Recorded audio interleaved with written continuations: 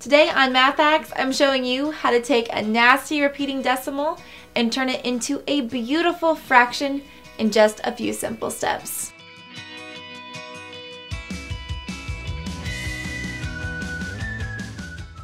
The best part about today's lesson is you're not even going to need a calculator.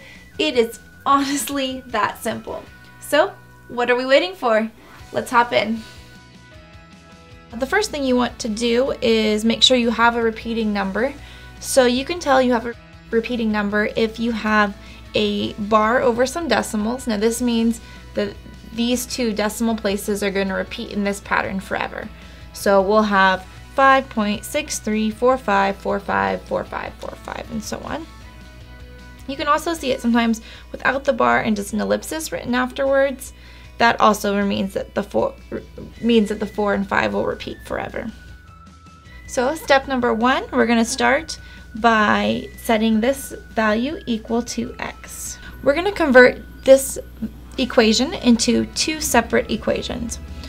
The first one, I want to rewrite the equation so that the decimal place falls directly to the left of the first set of repeating decimals. So in this problem, the first set of repeating decimals is this 4, 5 right here. So I need to ask myself, what can I multiply 5.634545 by to get 563.4545? Now, the easiest way to look at that is just to say, well, I need to move it two decimal places over, so I'm going to multiply by 100. Because we have this equation, now I'm going to multiply both sides by 100. So that's going to give me 100x equals 563.45 repeating. Okay, that's equation number one.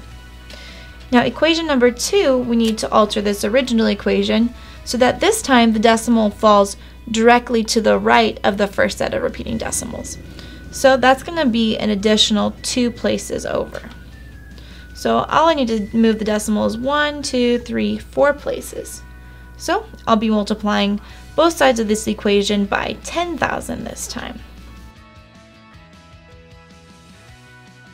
Now, believe it or not, we're almost there. The next step is to subtract the smaller equation from the larger equation. So, because this one's 100x and this is 10,000x, I'm going to subtract the left equation from the right equation. I'm just going to make sure that I am lining up the decimal places here to make it easy to subtract. So 10,000x minus 100x is 9,900x. And on the right here, I'm just going to do some basic subtraction. The decimal here, these are going to cancel out. And for our final step here, to convert this into a fraction, we're just going to solve for x. And we can do this by dividing both sides by that 9900.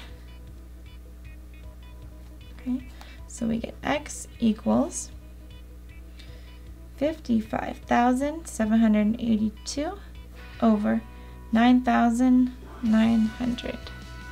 And that is actually the answer. That is the fraction equivalent to this original decimal up here. Of course, you can check that with your calculator simply by dividing these two numbers to ensure that you do get 5.6345 repeating. And that's all there is to it. If you'd like a step-by-step -step guide on today's lesson, jump on over to the Math Hacks blog where I have that waiting for you. And if you found today's lesson useful, please give me a big thumbs up and don't forget to subscribe so you can find all the math tutorials where you need them when you need them. Until next time, I'm Brett Berry and this is Math Hacks.